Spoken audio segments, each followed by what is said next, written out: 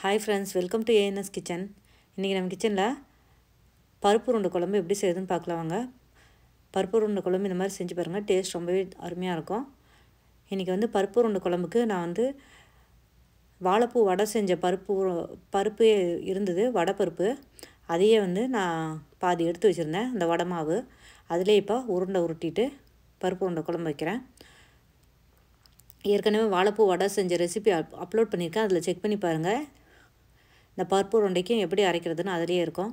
ஒரு சிலர் துவரம்பருப்பு சேர்த்து அரைப்பாங்க. நான் நீங்கள் விருப்பப்பட்டீங்கன்னா பாதி கடலைப்பருப்பும் பாதி துவரம்பருப்பும் போட்டுக்கலாம். இந்த மாதிரி போட்டுட்டு இந்த மாதிரி உருட்டி எடுத்துக்கலாம். இதை வந்து இட்லி பானையில் வச்சு ஆவியில் வேக வச்சுக்கலாம். ஃபஸ்ட்டு இட்லி பானையில் உல வச்சுருங்க. இட்லி பானையில் நல்லா உல நல்லா கொதிச்சு வர நேரத்தில் நம்ம இந்த உருண்டையை வச்சோம்னா ஒரு பத்து நிமிஷத்துக்குள்ளே வெந்துடும் இதுக்கு வந்து தேங்காய் எடுத்திருக்கேன். ஒரு கால் மூடி தேங்காய் அளவு எடுத்துக்கோங்க. அதை நல்லா நைஸாக அரைச்சி எடுத்துக்கலாம் இந்த மாதிரி.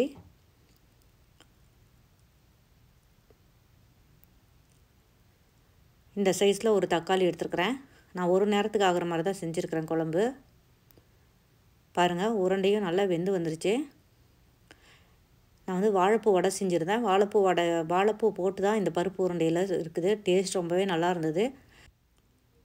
இந்த மாதிரி ட்ரை பண்ணி பாருங்கள் ஃபஸ்ட்டு இந்த குழம்புக்கு ரெடி பண்ணிக்கலாம். நல்லெண்ணெயில் செஞ்சால் டேஸ்ட் ரொம்ப நல்லாயிருக்கும் ரெண்டு டேபிள் ஸ்பூன் அளவு நல்லெண்ணெய் விட்டுருக்கேன். எண்ணெய் நல்லா காயிட்டும். காஞ்ச உடனே கடுகு சேர்த்திக்கலாம். கடுகு நல்லா பொரிஞ்சதும் வெந்தயம் ஒரு அரை டீஸ்பூன் சேர்த்திக்கலாம். சீரகம் ஒரு அரை டீஸ்பூன் சேர்த்திக்கலாம்.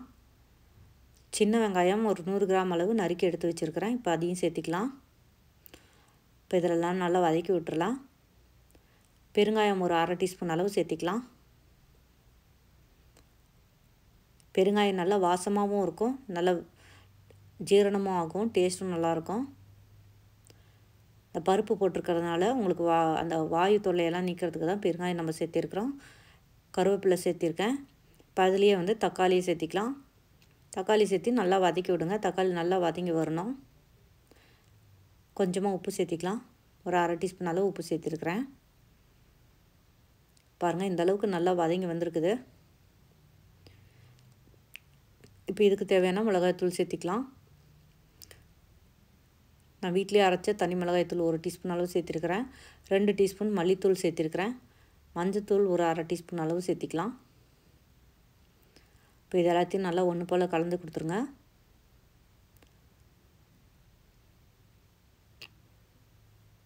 இந்த டேஸ்ட் வந்து ரொம்பவே அருமையாக இருக்கும் இந்த குழம்பு. நம்ம மதியம் சாப்பிட்றோன்னா காலையிலே வச்சிட்டோம்னா அந்த உருண்டையெல்லாம் குழம்புல நல்லா ஊறி வரப்போ இன்னும் ரொம்ப நல்லாயிருக்கும் இதுக்கு வந்து சின்ன எலுமிச்சம்பழம் அளவு புளி வந்து கரைச்சி எடுத்து வச்சுருந்தேன். அதையும் சேர்த்திக்கலாம்.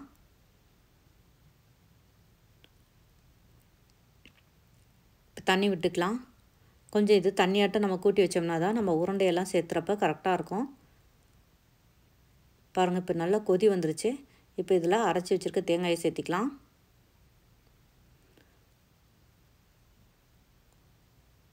புளியோட பச்சை வாசனையெல்லாம் போய் நல்லா கொதி வர நேரத்தில் நம்ம தேங்காயை சேர்த்திக்கலாம். அரைச்ச தேங்காயை சேர்த்திட்டு உப்பெல்லாம் சரியாக இருக்கான்னு செக் பண்ணிக்கோங்க.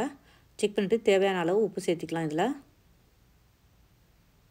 இப்போ இதை நல்லா கொ கொதி வரணும். நல்லா பாருங்கள் இந்த அளவுக்கு நல்லா கொதி வந்த உடனே நம்ம ஆவியில் வேக வச்ச இந்த உருண்டைங்களை சேர்த்திடலாம். நல்லா தண்ணியாட்டம் இருக்கணும். அப்போ தான் இந்த உருண்டையெல்லாம் சேர்த்துறப்ப கொஞ்சம் நல்லா திக்காகி வரும். உருண்டையெல்லாம் சேர்த்துட்டு ஒரு வாட்டி செக் பண்ணிக்கோங்க. நம்ம உ பருப்பு உருண்டையிலையும் உப்பு சேர்த்திருப்போம் அதனால் உப்பு மட்டும் பார்த்துட்டு சேர்த்திக்கோங்க. அவ்வளோதான் இது நல்லா கொதித்து வரணும். பாருங்கள் எண்ணெயெல்லாம் பிரிஞ்சு மிதந்து வருது. ரொம்ப அருமையான டேஸ்ட்டில் ஒரு பருப்பு உருண்டை குழம்பு ரெடி ஆகிடுச்சு கடைசியில் மல்லித்தலை தூவி இறக்கிற வேண்டியதான் இந்த ரெசிபி உங்களுக்கு பிடிச்சிருக்குன்னு நினைக்கிறேன். நம்ம ஏஎன்எஸ் கிச்சன் சேனலுக்கு சப்ஸ்கிரைப் பண்ணிக்கோங்க. ஃபாலோ பண்ணுங்கள் ஷேர் பண்ணுங்கள் நன்றி. வணக்கம்.